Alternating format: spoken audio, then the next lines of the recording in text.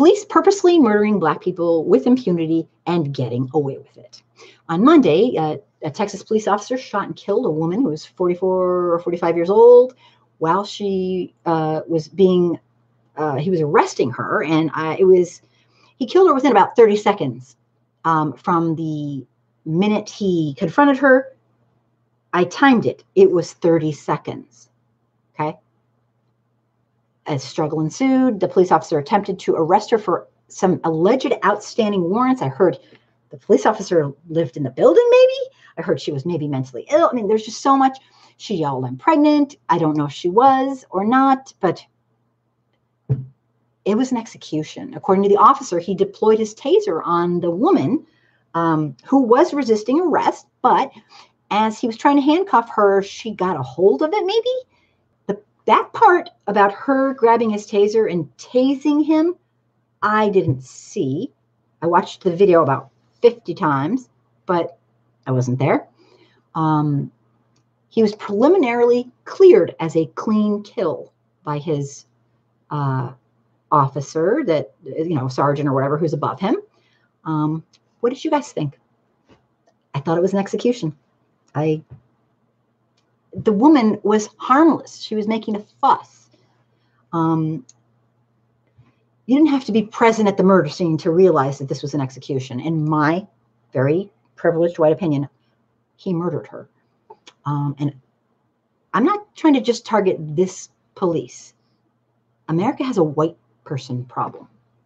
It's called systemic racism. It permeates the core of every institution we have in our nation.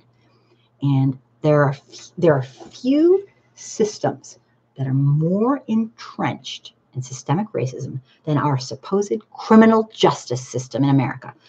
The white people in power in America allow black people to be murdered by our own government. It's the same government that black people pay their taxes to, and that is disgusting. How do I know this, you might ask? I'm saying they purposefully allow it and rarely, rarely get any consequences for it. And it's all purposeful. How do I know this? Police killed 1,166 people in 2018.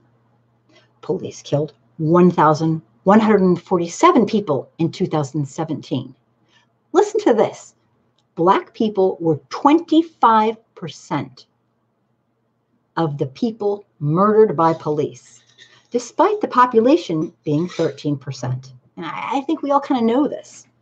Um, but there's more that's just the that's just the beginning. According to uh, killedbypolice.net, nice name, which keeps track using a database from mapping police violence. One might ask whether police just kill all people, no matter what race they are, at this kind of rate. But now, turns out that black people are killed way more often. And according to conservative figures, black people are three times as likely, and that's conservative, to be killed by police than white Americans. I've heard much worse. And it depends how you're counting. It is an execution they're allowing. And listen to this not only are they killing Black people in astronomically significantly higher numbers, 30% of the Black victims were unarmed, whereas 21% of the white victims were we aren't good. We're not training our police. We're training our police, all right, to kill. If you look at the overall stats on what people are trained in, the police are trained to kill. It's like a surgeon. You do surgery, you do what you're trained in. If you're trained to de escalate, guess what you do? You de escalate. But it gets way worse. All these statistics matters where you live. There are places in the United States that are significantly more dangerous for Black people to live. According to this database, a Black person is seven times more likely to be killed by police in Oklahoma than Georgia. Go figure. Um, but here's the sickest, sickest part of the whole thing that I want everybody to hear the rates of violent crime in a city didn't make it any more likely for police departments to kill people. I will say that one more time for the people in the back. The rates of violence in a city did not mean that more people would be killed. Okay? So here's what I'm talking about. Buffalo and Newark police departments have low rates of police violence despite high crime rates. While Spokane and Bakersfield had relatively low crime rates and high rates of police violence. Let's put it this way the level of crime in a city does not make it more or less likely that police will kill you. So, this is a cultural thing. The bottom line is there's no excuse for the police murder and brutality with the, at, at these rates in America. It's pure and simple hatred, systemic racism, from implicit bias to all out racist, you know, wearing a white sheet. There's no accountability for officers. Less than 1% are ever convicted. This is essentially giving police the right to murder our own citizens with impunity. And that's what we're allowing. And the, the division between certain places that you can live and other places you can actually survive as a black person are extreme. That means to me, some places aren't even trying. You try best practices. I mean, my God, according to the useofforceproject.org, police departments that adopted the, get a load of this, the following, um, police departments that adopted the, the following policies had much lower brutality and murder rates. All they had to do was this. These are not, this is not rocket science. This is not, this is common freaking sense. And hardly any of them do it. When a department implements the following rules, this is what happens. If a department says that a warning must be given um, before an officer is going to shoot, now that sounds kind of strange, but when they say a warning must be given, the death rate and stats go down 5%. Okay, all of a sudden, oh, they have to think.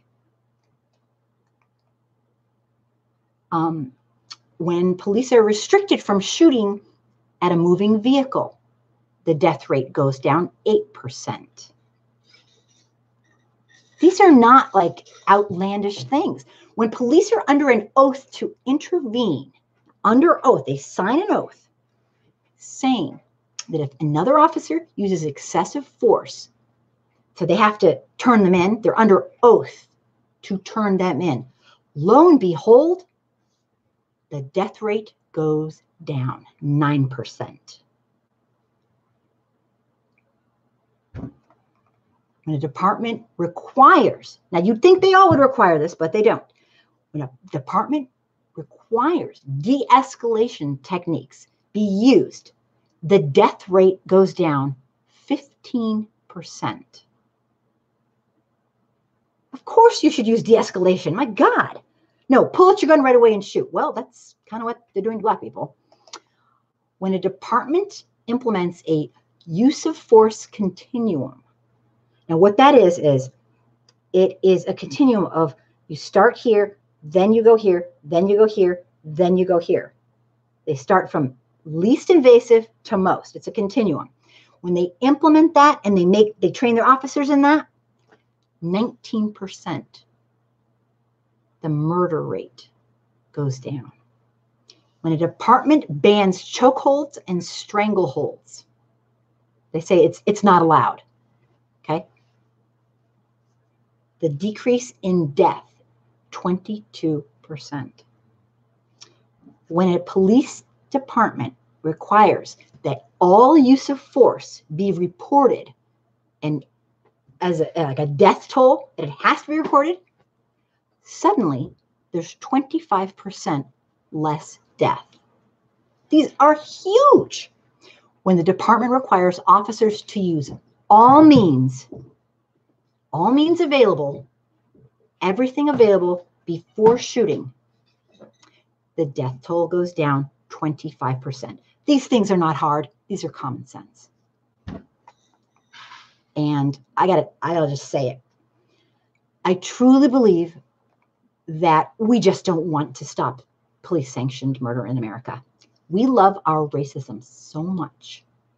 By the way, and I'm sure you know this, this is why Kaepernick and the NFL players kneel during our racist, racist, disgusting national anthem.